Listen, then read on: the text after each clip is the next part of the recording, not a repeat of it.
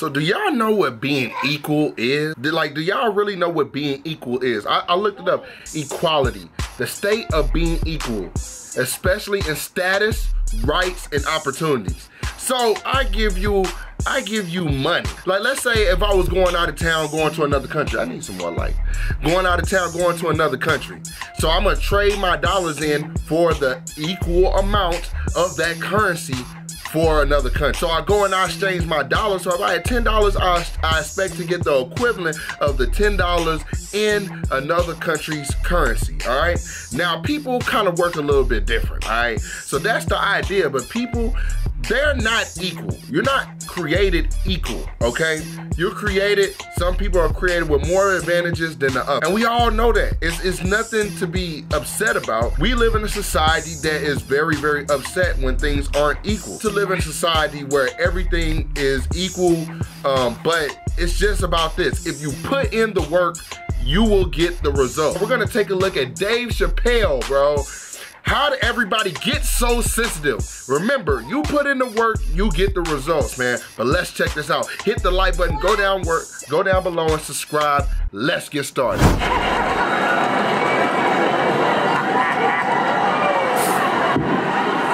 Oh my God. But there's a more important reason that I would stop doing comedy right now.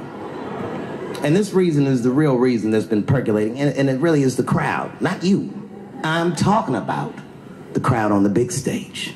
It's too hard to entertain a country whose ears are so brittle. Motherfuckers are so sensitive, the whole country is turned into bitch ass niggas. hey, but but off rip, off rip, I support what he's saying. Off rip. But do you know at a point in time in being in America, being in other countries, you know, you can go to war with somebody. War. I'm talking about bombs flying, bullets flying, everything. You can go to war with somebody, but you better not question their sexuality. What? What? You just gotta understand, bro. This this country, one of the greatest countries in the world. One of. One of the greatest countries in the world. We got a big melting pot of people, bro. But here's the thing. Everybody getting too sensitive. You're getting you get fat. Somebody said, hey, you look like you're getting fat. You're fat shaming. A woman, she sleeps with too, uh, too many men. You're slut shaming. Cause you called it out? Bro, I'm getting tired. Everybody's turning into a bunch of bitch ass niggas.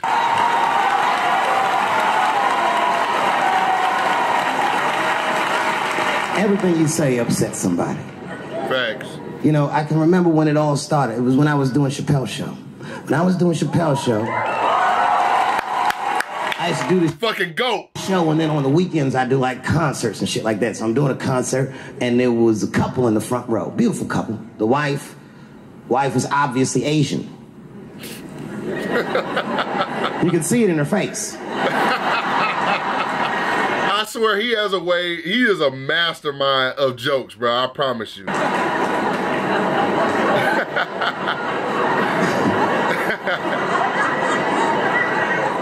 husband, this motherfucker was mysterious to say the least.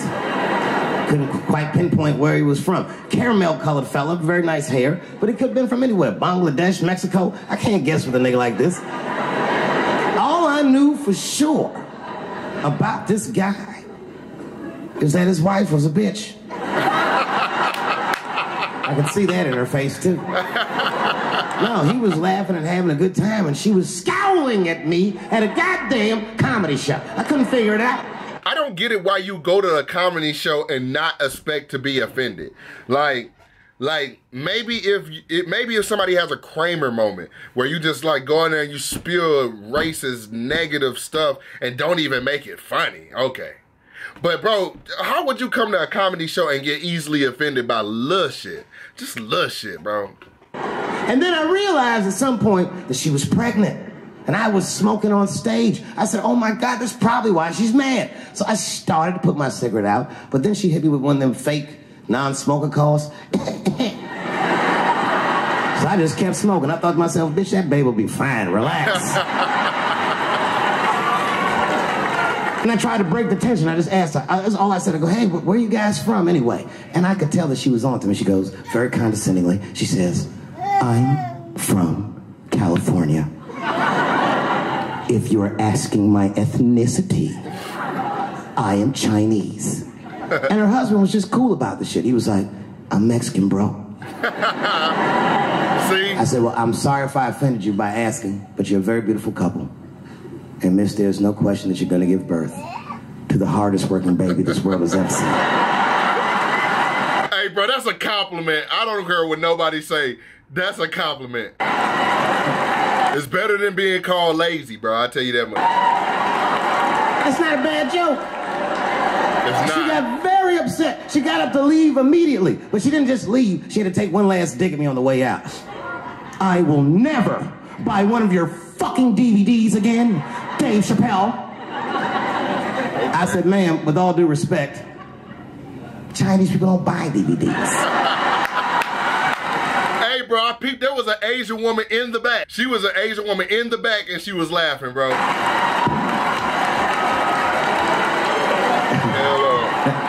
And the crowd went crazy. We were all laughing, having a good time. I didn't even think anything of it. Right. And then just three days later, this lady sends a fucking letter to my promoter telling him not to book me for shows anymore because I was, quote, racist. Uh-huh. And, and I'm quoting her, insensitive to the nature of my interracial marriage. So here's the thing, bro. Right there. This is the bitch ass nigga moment. She wrote a letter to the promoter.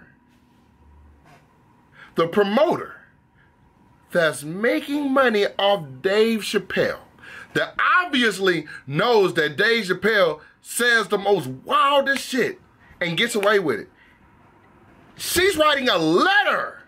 Like it's fucking like like like put your John Hancock down. Like bro, like it's the like it's the 1800s. Oh man, put it in the U.S. Postal Service. It'll get on there. It'll, it'll get to him by horseback in a few in a few weeks. No, nobody gives a fuck. You're writing a letter to a promoter that's making probably oh, hundreds and hundreds of thousands of dollars off of Dave Chappelle, and to to stop him from spilling out the best written jokes to some of the sensitive fucking people. And you expect that to work? You expect the promoter to be like, oh my God, she's right. She's right. Take Dave Chappelle down! Cancel him! No, it's not gonna happen. I was like, word, bitch, I was. if she had just done a little bit of research, she would know that I myself am in an interracial marriage. Right. That's right. In fact, my wife is Asian too. Surprise, bitch. I'll see you on Thanksgiving.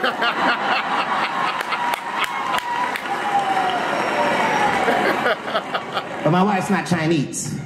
Right. She's Filipino. That's right, that's right. And our kids are Puerto Rican somehow, so there you go. Hey, bro, she was doing some sneaky shit behind your back, boy. You better watch out. I don't give a fuck about interracial. In fact, you know what? My mother is half white. A lot of people don't know that. Well, all right, you were a little too excited, but okay. a lot of people don't believe me when I say that, but it's true. You can't tell looking at me, but if I grew my hair out, you would think you was at a fucking Katt Williams concert. My shit is, my shit is beautiful. This man look like a, a, a little devil a glass, bro, with his pointy ass ears. Don't get me wrong, Dave Chappelle, that's my boy. All right, that's my boy. But everybody can get flamed. Anybody can get flamed. What, son? Finna get on your little knee having it. But motherfuckers are just taking it too far. I don't know why or how everybody got this goddamn sensitive. You know who hates me the most? The transgender community. Facts.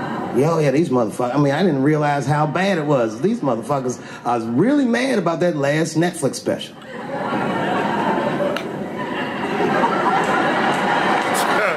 you can tell he just doesn't give a fuck though. It's tough, man. I don't know what to do about it because cause I like them.